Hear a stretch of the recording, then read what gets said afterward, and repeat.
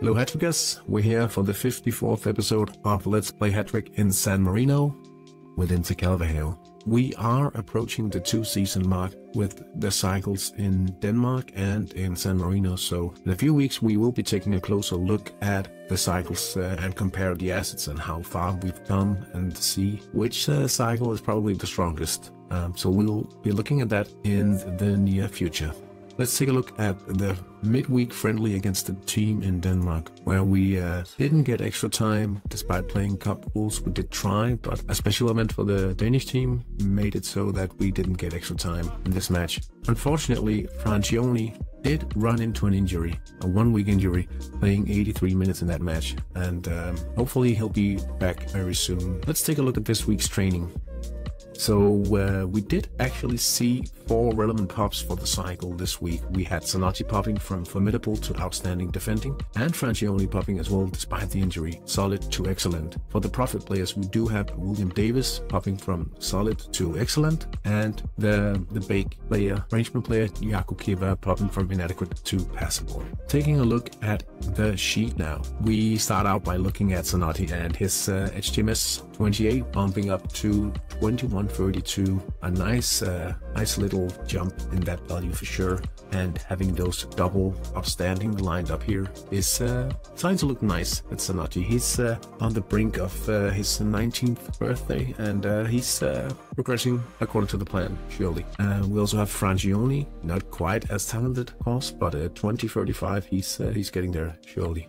And the pop for William Davis to excellent here sets him at 1753 and uh, we are actually looking to move William Davis on now in the process in order to obviously uh, realize uh, some profit and move on to some goalkeeping training, I think. We do need to have an active bid for William Davis before we can actually look for the replacement. If we move on to his profile here, you'll see that his transfer compare now is around 4 million euros. So it's about time we move him on if we can. In the youth department, we did play a match against B9086 under 19s. And um, we look at the performances here. We did remember to play Trastuli in the midfield this time. It, it didn't reveal anything super interesting, but um, looking at the training, we will see that we did in fact get the pop I was talking about. Last week, the pop to inadequate uh, playmaking for um, Meletti. And that means that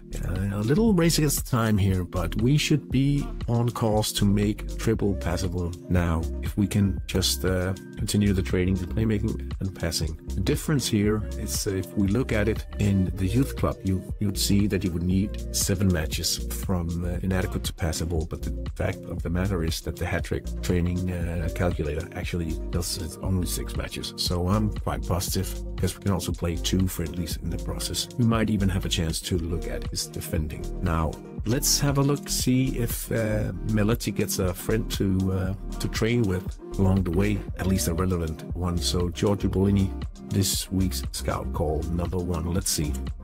16 years old, inadequate defending, but he's the first. We shouldn't accept this. Risaliti, 15 years old, all-rounder, inadequate he he could actually play along uh, Meletti. As an adequate 15 years old, he's not spending a lot of that playmaking skill because he can only reach weak in scoring. We give this guy a chance, Mengini Elitio, and what we will make sure to do this time is we will put him in the lineup immediately instead of uh, Pireni, I think.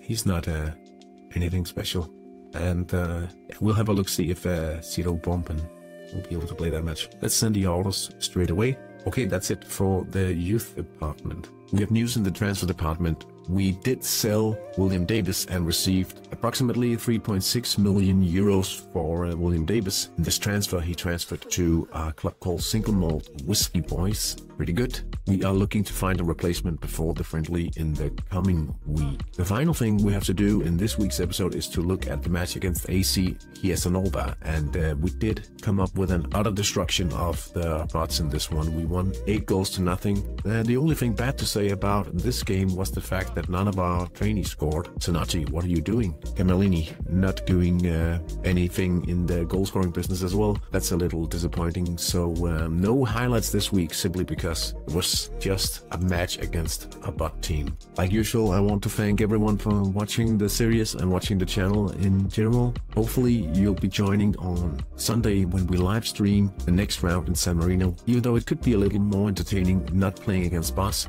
that's the situation right now. But come talk Hattrick and have a good time on Sunday evening where we'll be streaming around 9 p.m. Hattrick time for the 10th league round in San Marino. Till then, have a great time in Hattrick. I'll see you guys soon.